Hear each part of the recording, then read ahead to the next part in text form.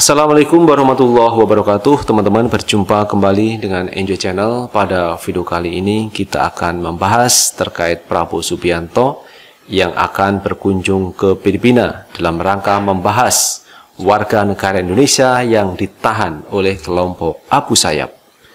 Dan teman-teman kabar yang kita terima bahwa dua orang ini sudah bebas Dan satu orang masih ditahan oleh kelompok Abu Sayyaf Nah teman-teman sebelum kita lanjut silahkan tekan tombol subscribe dan tanda lonceng notifikasi agar tidak ketinggalan video-video terbaru dari kami.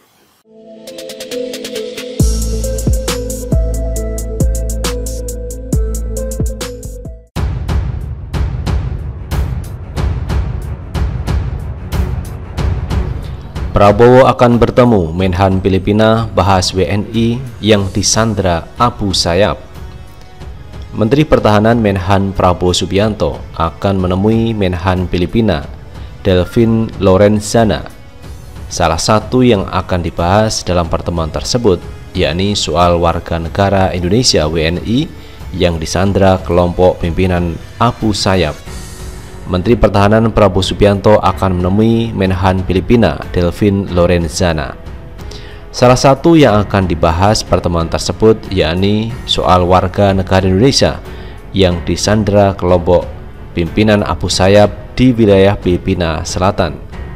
Dua nelayan asal Indonesia yang disandra berhasil dibebaskan di Sulu, Filipina Selatan pada hari Minggu 22 Desember 2019 pagi. Saat itu tersisa satu orang WNI yang masih disandra kelompok Abu Sayyaf. Pak Prabowo akan bertemu dengan Menhan Filipina di Manila beberapa hari ke depan untuk membahas hal tersebut. Sekaligus berterima kasih karena telah membantu membebaskan dua orang nelayan Indonesia, kata juru bicara Menhan Daniel Ansar Simanjuta saat dikonfirmasi pada hari Selasa 24 Desember 2019. Dalam kesempatan itu, menurut Daniel, Prabowo juga akan membicarakan langkah-langkah agar penyanderaan terhadap nelayan Indonesia tidak terjadi lagi.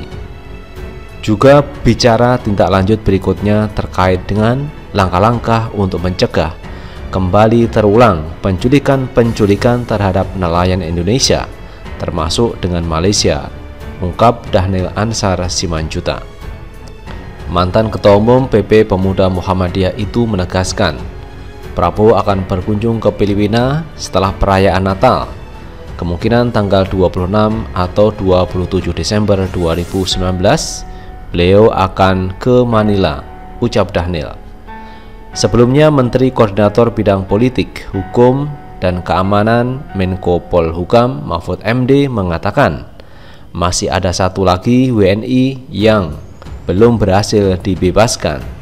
Dia menegaskan pemerintah bekerjasama dengan Filipina terus memburu kelompok Abu Sayyaf. Abu Sayyaf masih membawa satu, masih membawa satu lagi sedang diburu, kata Mahfud di kantornya di Jakarta pada hari Senin 23 Desember 2019. Dia meminta, ya menunggu saja, kita tunggu sajalah, jelas Mahfud MD. Dia pun mengutarakan dua WNI yang selamat akan segera diterbangkan ke Jakarta. Perkembangannya positif, dua sudah siap diterbangkan ke Jakarta. Lagi cek kesehatan, kata Mahfud MD. Sementara itu teman-teman, dua WNI yang menjadi korban penyanderaan kelompok Abu Sayyaf memang berhasil diselamatkan oleh militer Filipina. Mereka selamat berkat operasi serangan fajar militer yang memukul mundur militan Abu Sayyaf di Panamau, wilayah selatan Filipina. Duta Besar Republik Indonesia untuk Republik Filipina, Dr. Sinyo Hari Sarundajang, sudah berada di Sambuanga, Filipina Selatan untuk menemui WNI yang berhasil selamat yakni Maharudin bin Lulani dan Samiun bin Maneun. Sekarang saya sudah berada di kota Sambuanga. Di kota Sambuanga ini para tahanan-tahanan kita itu sudah ada di sini dua orang. Mereka ditahan sudah 90 hari yang lalu, ujar Sinyo kepada liputan6.com pada Senin 23 Desember 2019. Sinyo menambahkan masih ada lagi satu WNI yang belum diselamatkan dari Abu Sayyaf dan militer masih melakukan upaya penyelamatan. Sinyo telah menyebut dua WNI itu sekitar pukul 11 siang waktu Filipina. Mereka ditemui di tempat tentara Western Mindanao Command yang seperti Kodam di Filipina.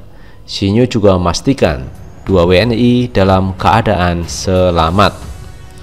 Kesehatan mereka prima, bagus. Mereka tidak dipukul-pukul, sangat sehat, tegasnya. Selanjutnya, Sinyo akan membawa dua WNI itu ke Manila pada siang ini. Rencananya, dua WNI yang jadi korban Sandra Abu Sayyaf itu akan dibawa pulang ke tanah air pada 26 Desember mendatang. Kemungkinan besar tanggal 26 saya akan bawa mereka ke Jakarta di Kemlu untuk menyerahkan untuk Menteri Luar Negeri dan Menlu serahkan kepada keluarga pungkasnya. Sinyo juga menegaskan telah memberikan kabar duka cita dari Indonesia kepada pemerintah Filipina. Tercatat ada seorang tentara yang gugur ketika melakukan serangan fajar pada Minggu pagi 22 Desember 2019. Ketika berkunjung ke markas Filipina, Sinyo juga menyempatkan memberi penghormatan di depan peti mati prajurit yang gugur saat melawan Abu Sayyaf. Sinyo juga sempat berbincang dengan tentara yang merupakan saudara dari prajurit tersebut. Selain itu, duta besar juga menelepon Menteri Luar Negeri Retno Marsudi saat memberikan penghormatannya, kemudian menyerahkan telepon genggamnya pada perwakilan militer untuk berbicara langsung dengan Menteri Luar Negeri Retno Marsudi. Saya telah menyampaikan berita duka dari Presiden dan Ibu Menteri Luar Negeri kepada mereka karena satu prajurit meninggal dunia, ujar Sinyo.